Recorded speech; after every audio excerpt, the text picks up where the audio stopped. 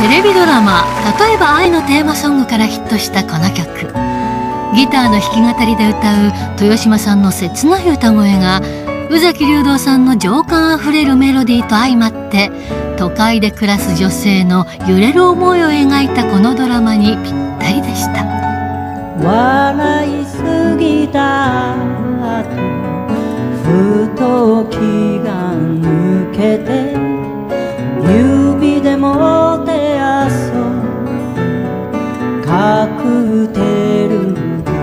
グラス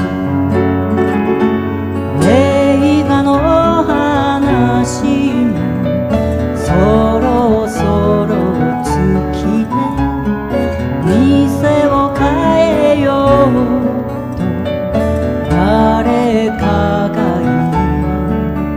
言い出す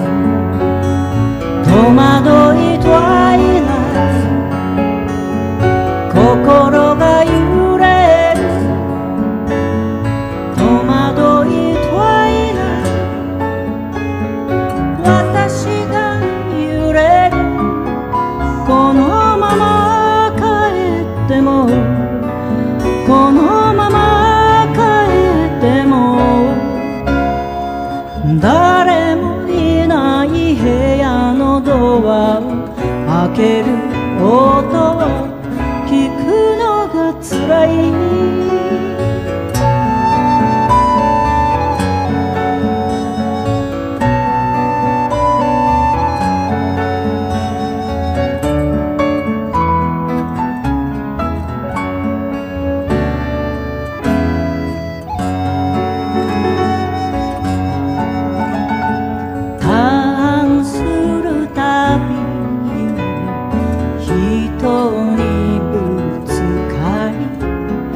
ガラスの裏は汗がこぼれる。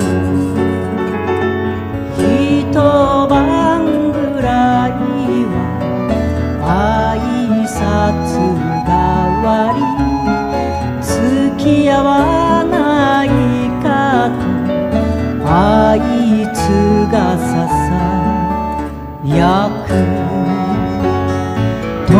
Bye.